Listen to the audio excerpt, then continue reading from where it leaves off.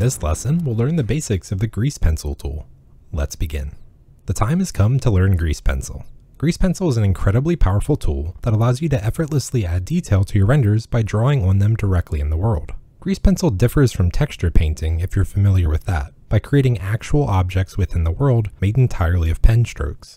It doesn't require a model to be unwrapped and then painted onto, as it's not a texture-based tool. In simple terms, we're drawing on objects, or in the air, to create physical pen strokes in the world. While we learn the basics of Grease Pencil in this lesson, we won't be focusing on creating actual details in our render, just simple doodles as examples. We simply want to learn the different tools that we have access to and how to use them within the world. The following lessons will focus on creating real details for the render, such as hanging wires or cracks on the walls. To begin with, we're going to head over to the layout workspace if you're not there already. So currently I'm in the layout workspace, but if you're not, you can go up here and click on this tab. Depending on the type of details that you're drawing, you might be drawing in the left camera viewport, or you might prefer to draw in the perspective viewport here on the right. I'll explain as we go when you would want to change your view based on the type of details that you're drawing. For now, let's start by drawing in the left camera viewport found over here. With that being said though, make sure that your left viewport is actually seeing the camera view. If you don't see this exact view, you should click this little camera icon here to jump into the camera view.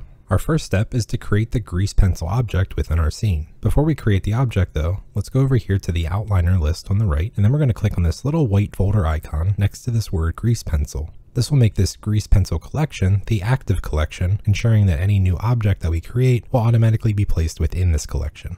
And these collections serve basically just as folders, as ways to organize your file a little bit better. Okay, so now we're ready to create our grease pencil object. So we're just going to go over here in either of these viewports, it doesn't matter. Hit Shift and A to bring up the add menu. And then we'll go down here to grease pencil, and then we're going to choose blank. And now with our new grease pencil object still selected, we're going to go up to the top and we're going to click in our middle mouse button to pan this bar over so that we can see this menu here called object mode. We're going to click this and then switch to draw mode. It doesn't matter which viewport that you access this menu in, but either way, when you look for this menu, you'll likely need to click in your middle mouse button to pan it over so that you can see this drop down. Now we can see a whole bunch of different brush options found down here at the bottom of each of these viewports. Each of these brush options produces a different kind of stroke, but for this class we'll be using the one called Ink Pen Rough. Your file will likely have defaulted to this choice, as that's how I set up the starter file. But if it didn't, we're looking for this brush option. So it's the one with a really thin line and then it really gets thick here at the end.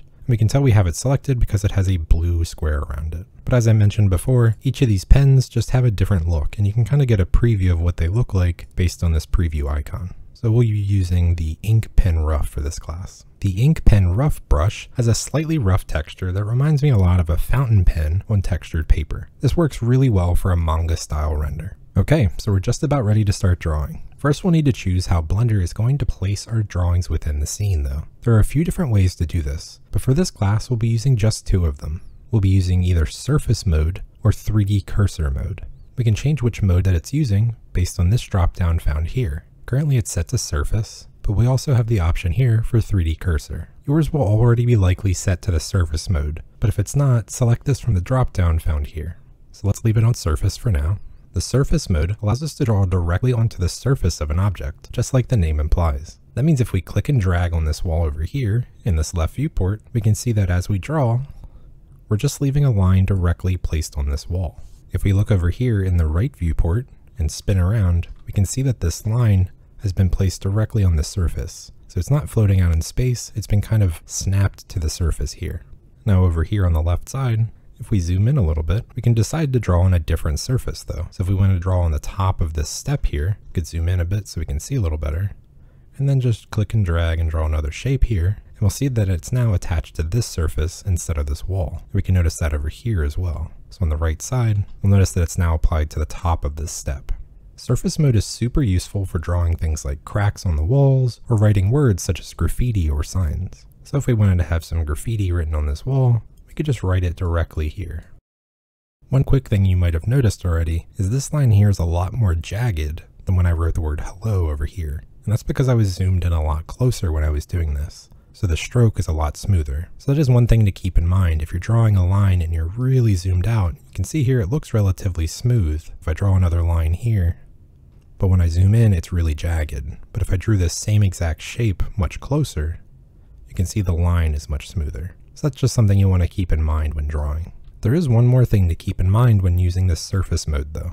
If your lines transition between different faces at different locations, the lines will stretch and snap to the new surfaces regardless of how far away they are. As a quick example of this, let's draw a line across the floating stairs on the right side. So in this left viewport, we're going to zoom out a bit, and then we're just going to draw a line that travels between each of these steps, as if it's a wire or a railing going between them. So we'll just start here and just start drawing a line and just make sure that you hit different surfaces and different faces along the way.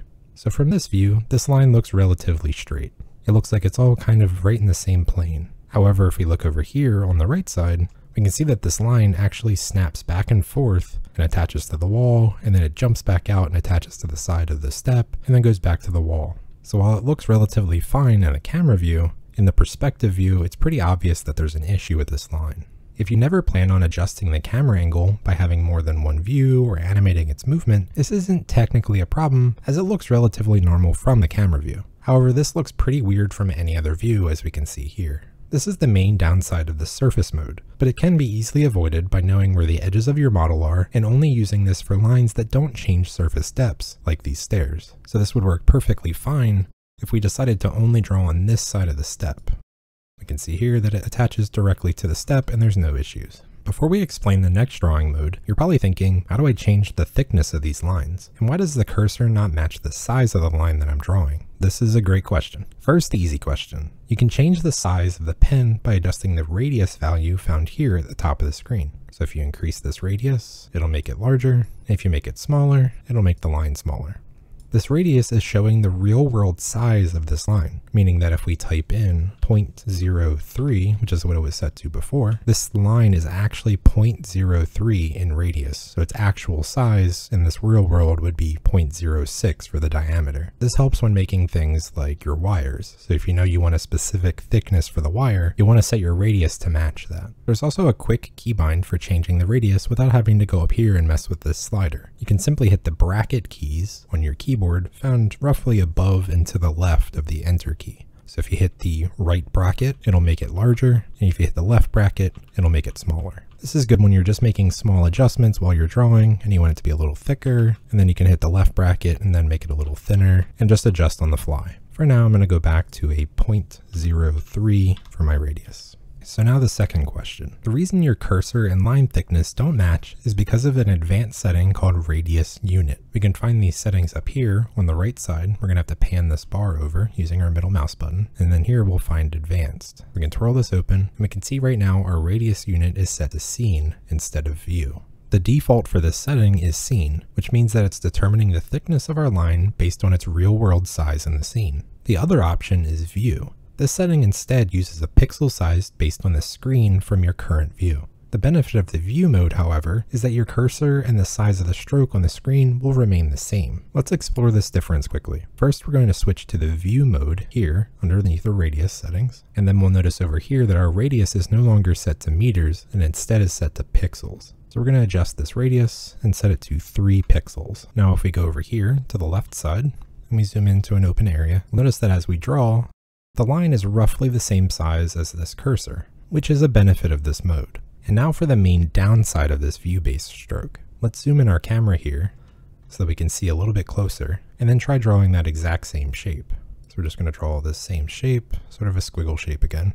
And we'll notice that we didn't change anything about this radius, however this line is significantly thinner. And if we zoom in further and do a similar shape, we'll notice that this line is even thinner than this one. This is because the view-based radius only cares about its pixel size at the time of drawing. That means as long as it's 3 pixels wide when you drew the line, it doesn't care how far you zoomed in or out when you drew it. This interaction can be useful for drawing small details on your image, but it can also be a little frustrating when you're trying to draw and get a consistent line thickness for the drawing. Because as you zoom in and out to see more and less of your image, we draw out here, this line is way thicker than it was before, and I haven't changed anything about this radius.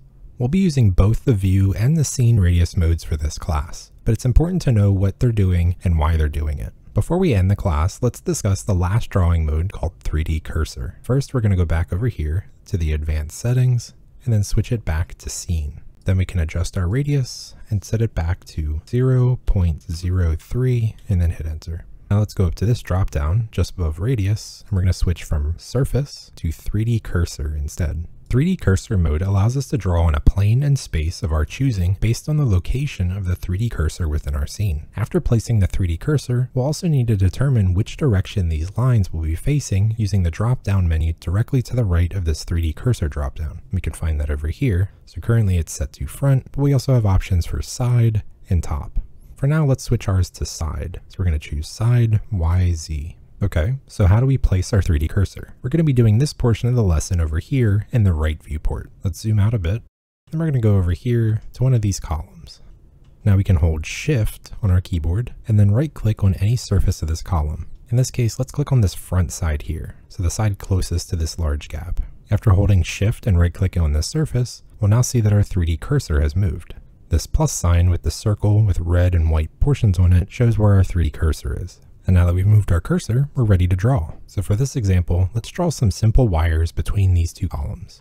So let's zoom in our view a little bit and then rotate around. And we're just going to be drawing a wire from here to here. So we're just going to click and drag and then just start drawing a wire over here. And after drawing this wire, we can rotate our camera a little bit and notice that this line doesn't have the same issue that it did down here on the stairs, and that's because we're using this 3D cursor mode. We've told Blender to only draw this line based on the plane of wherever this 3D cursor is placed, so it won't allow it to snap back in space or go forward, can only draw on this surface, regardless of whether it's in the air or on a model. If we hold shift and right click and place our 3D cursor somewhere else, say maybe the side of this pipe, we can now draw back here. Maybe we'll just draw some lines back here, hanging off the side of this pipe. This allows us to have a lot of control on exactly where these lines appear, and it prevents that stretching and snapping that we saw earlier with the surface mode. It does, however, come at the cost of being a much more manual process, and it doesn't work well for curved surfaces like this large pipe, as we see. So here it's sticking into the pipe,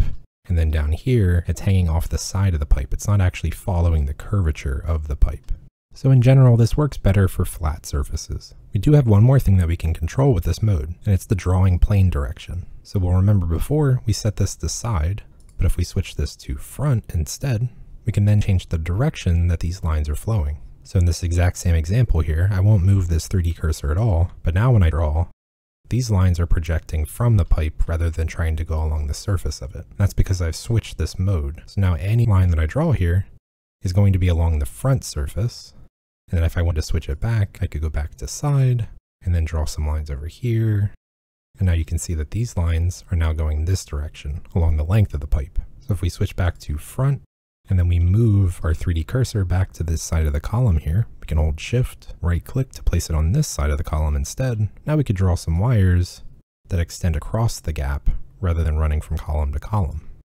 You can see that here. So now we have sort of an L shape for these wires. Being able to swap these directions for front and side will allow us to have a lot of control over where these lines exist within the world. You might have noticed that as you were drawing these long wires, it was kind of hard to create a smooth line, especially if you're drawing with a mouse. Worry not, however. I have a tool that'll make drawing smooth lines a lot easier, and I'll teach you that very soon. In the next lesson, we'll use Grease Pencil to add wires to our render. I'll see you there.